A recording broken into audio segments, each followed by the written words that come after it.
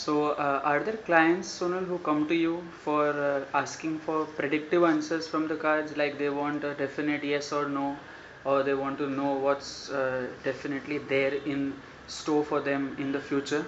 Uh, yes, always the question most of the times is is it going to happen or when is it going to happen? And to these people, it, it does take a while to explain them that to take the oracle cards for their predictive value is a little tricky because as I said, our thoughts are creating our reality. So what you want, what you are constantly focusing is changing and so the related manifestation in your world will also change. So probably if this given moment you're manifesting something for yourself and the cards would reflect that. But probably after five days if you stop thinking about that situation then you would uh, sort of then think that probably the card didn't predict the correct thing. So we ask you to look at cards as facilitators, as analysis of a given situation.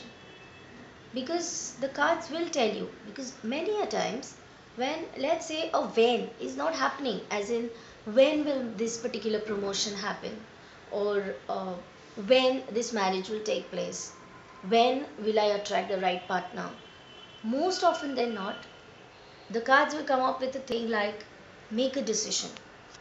Okay, or just the cards that says decision making. This is telling the client that there are some factors, there are some forces within the client and his or her life which they need to decide upon.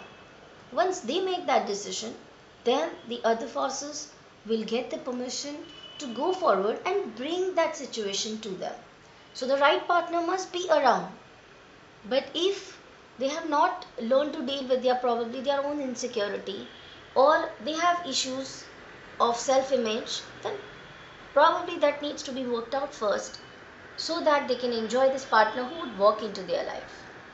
Many a times, uh, promotion, financial abundance, these are the issues which require a when answer.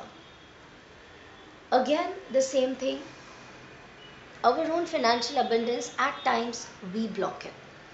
We block it because we worry. We block it at times because we think from a lack mentality. We constantly think that it is not enough. So we have a heart that is not very grateful.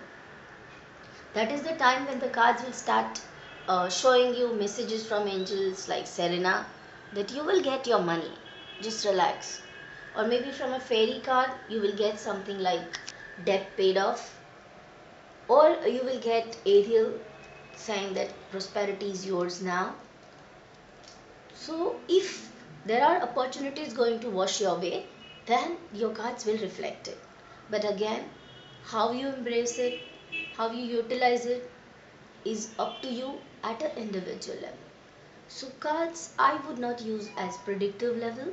I would mostly use them to analyze what's going on or what is in store for me or what action steps I need to make to take this situation to another level.